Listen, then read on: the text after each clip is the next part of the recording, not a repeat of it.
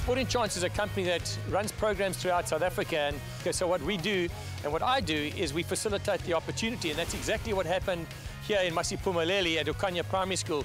I was approached by Vince van der Bijl, former uh, uh, Natal and Middlesex uh, opening bowler and, and one of our cricket legends, just to see if he could make a, a, a, create an opportunity for him to go into one of our township communities and, and create opportunity. Uh, and um, that's exactly what happened. I approached Masiphumelele and Masicorp and they grabbed at the opportunity and subsequently from here, Vince van der Bijl is now uh, involved in the community and put uh, this program together. So it's a very special occasion and a very special man. This is a collective project between three groups. The Ukhanyo Primary School, a school of 1,850 kids. They have one netball court until we put in these three nets and one sprint track, and really for many years, one coach in Kleber Jonas. And so between Ukhanyo Primary School, the MCC, and Masicorp, which is a dedicated NGO, we set up a MCC Masi 750 Sports Club. We all know about the great divide between the very good model schools and the private schools and the other schools around this country and which half of them, over 20,000 schools, half of those do not have sport after school. And so this is a way what we believe is real transformation, starting from the ground up and ensuring that people get an opportunity to play a sport, express themselves physically, get energy out, take them away from gangs and drugs, put them into something really energetic and give them a sense of identity and self-worth. Well, MCC is very um, proud and privileged to be involved uh, in this wonderful project. Uh, the idea came from Vincent van der Bijl, who sits on our World Cricket Committee. It was meeting in Mumbai last December, and he provided a very inspirational presentation. And we then started talking about Masiphumelele.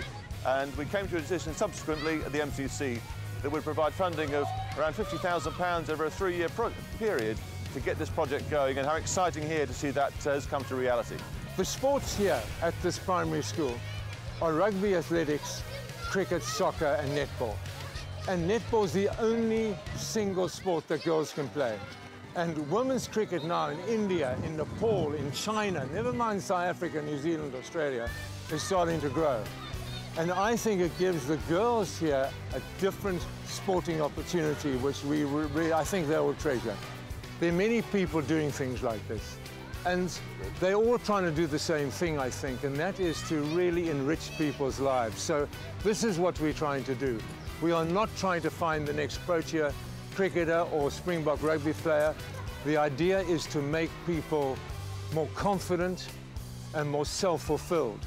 And so what we've got here is the MCC has given up what can be only termed startup capital. They've given us 50,000 pounds for three years. During that time, we have to raise more money, at least double it. So this is why we've started the MCC Masi 750 Sports Club. So we want people to put their hand in their pockets, individual South Africans, and give us 100 Rand a month or 1,200 Rand a year ad infinitum. This is a sustainable project.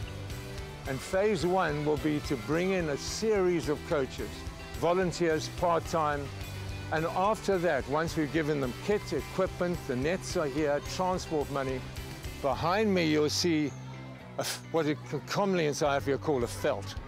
It's not possible to play sport here, but we want to put down artificial surfaces. And once that is totally sustainable, then we'll move up to the high schools. We chose sport. We could have chosen chess or violins, but sport instantly puts a smile on people's faces when they run they laugh.